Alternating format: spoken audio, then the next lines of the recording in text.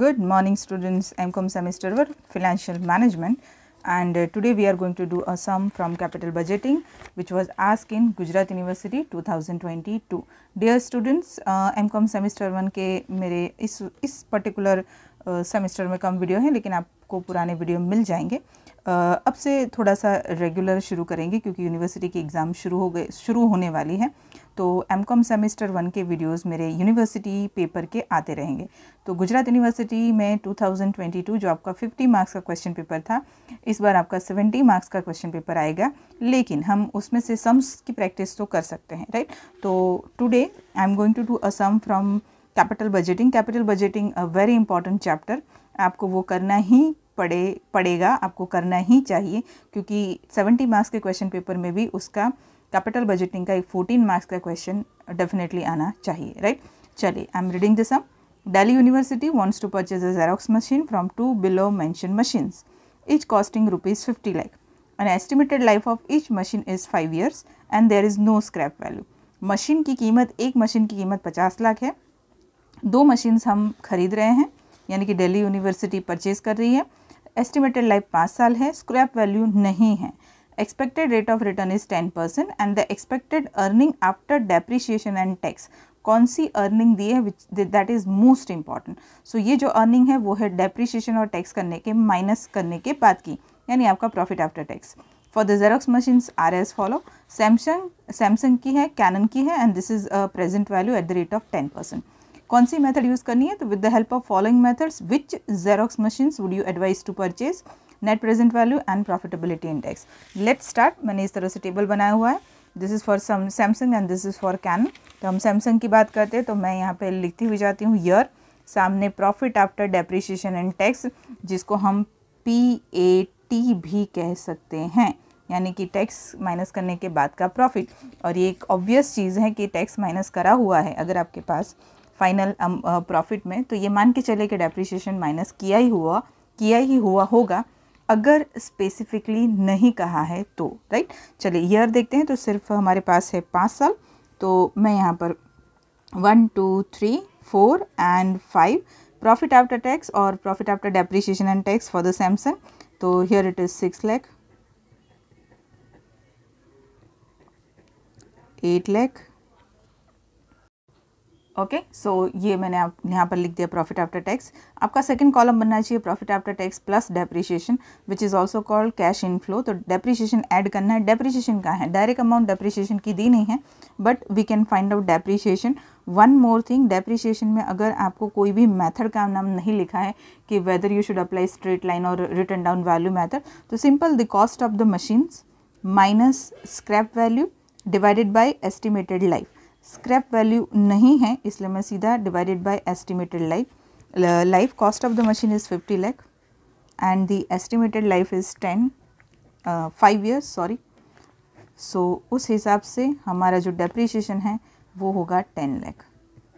सो आपके डेप्रीशिएशन की amount ten lakh है और ये दस लाख रुपए आपको ऐड करते हुए जाना है for the C I F cash inflow तो इसमें मैं टेन लाख रुपीज़ ऐड करती हुई जाती हूँ. So here it is sixteen lakh here it is eighteen lakh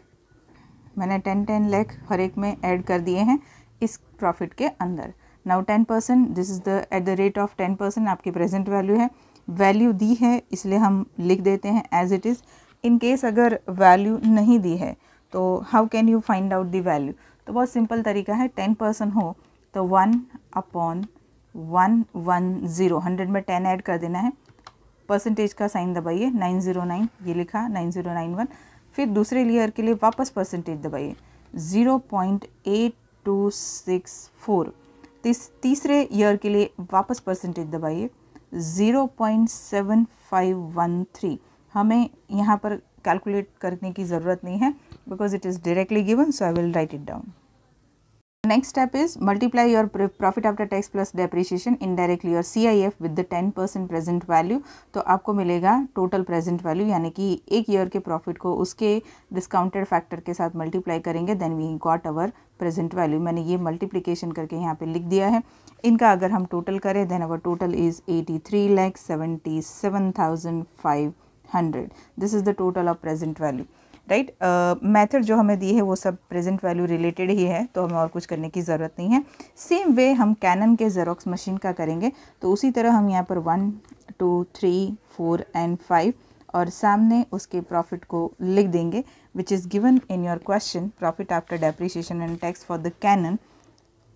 four lakh eight lakh fourteen lakh thirty lakh and eight lakh right so the first one is four lakh okay so here मैंने जो आपके question paper में वही profit लिख दिया है। Profit after tax plus depreciation अब इसमें डेप्रीशिएशन ऐड करना है। Same depreciation why because the cost of machine is fifty lakh estimated life will be five years same for both the machine तो दस लाख ही आपका डेप्रीशिएशन है तो हम इसमें दस लाख ऐड करेंगे। तो ten lakh plus four lakh so fourteen lakh उसी तरह यहाँ पर एटीन लैख तो यहाँ पर मैंने सारा डेप्रिशिएशन ऐड करने के बाद प्रॉफिट लिख दिया है और उसके साथ टेन परसेंट डिस्काउंटेड फैक्टर की वैल्यू लिखी है। अब हमें क्या करना है? हमें जस्ट लाइक सैमसंग इन दोनों का मल्टीप्लिकेशन करना है। Fourteen lakh multiply by point nine zero nine one तो यहाँ पर हमारा आंसर आएगा twelve lakh seventy two thousand seven hundred and forty इसी तरह हमें सबका लिख देना है one by one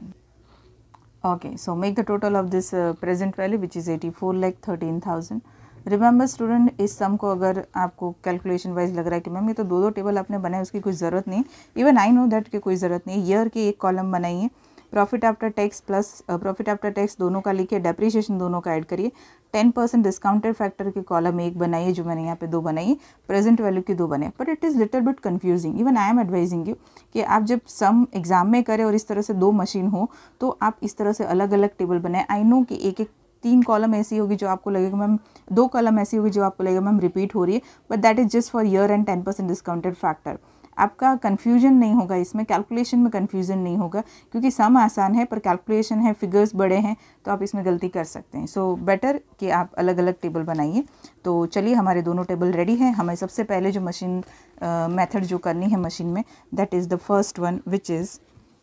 net present value जो मैं शॉर्ट में लिख रही हूँ N P V and uh, what is the formula of net present value? So present value of cash inflow minus investment. यहाँ पर चल रहा है सैमसंग और यहाँ चलेगा Canon right present value of cash inflow ये रहा eighty three lakh seventy seven thousand five hundred और इन्वेस्टमेंट है हमारा पचास लाख का मशीन की कीमत।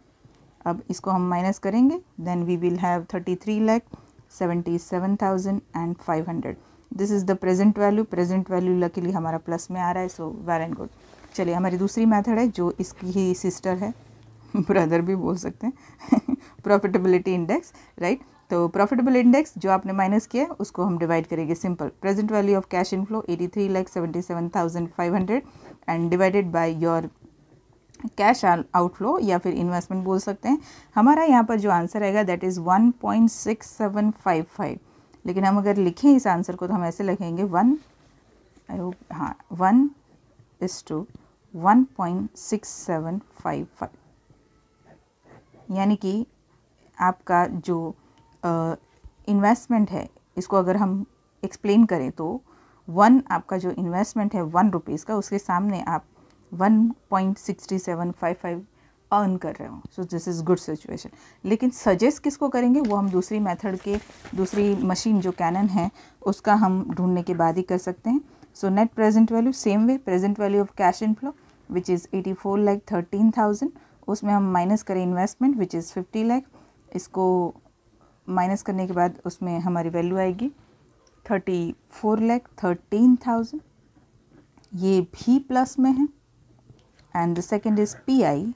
जिसमें हम इसको डिवाइड करेंगे eighty four lakh thirteen thousand divided by fifty lakh और इसका जो हमारा आंसर होगा that is one point six eight two six how can we write this thing one is to one point six eight two six अब हम check करते हैं। और कंपेयर करते हैं this is thirty three seven seven five hundred this is thirty four thirteen thousand so this is better in case of NPV this is 1.6755 this is 1.6826 so ultimately Canon is much better not much better but Canon is better why because our net present value and profitability index both having more value or positive value or both the criteria is better than the Samsung Xerox machine तो अगर हमें advice uh, देनी है कि भैया कौन सी machine ख़रीदें तो हम कहेंगे कि भैया कैनन मशीन ख़रीदें क्योंकि उसका परफॉर्मेंस सैमसंग के परफॉर्मेंस से परफॉर्मेंस uh, से थोड़ा अच्छा है। Performance in the terms of calculation right तो यहाँ पर हम बात करते हैं कि सजेशन की तो here you can write down कि वी शुड और we are advising you to buy Canon Xerox machine because net present value and profitability index both the measurements are much better uh, in Canon Xerox machine uh, than the Samsung Xerox machine right तो ये हुआ हमारा मार्च 2022 का सम आसान सम है practice कर लीजिए इस तरह के सब्जेक्ट में इस तरह के चैप्टर्स में मार्क्स नहीं जाने चाहिए I will definitely upload videos from the university paper you can also tell me कि मैम इस पर्टिकुलर ईयर का ये सम करवाइए I will do it okay चलिए, मिलते हैं नेक्स्ट वीडियो में and yes BCom semester six के बच्चों के भी ये काम की चीज़ है। तो मिलते हैं नेक्स्ट वीडियो में टिल देन बाय एवरीवन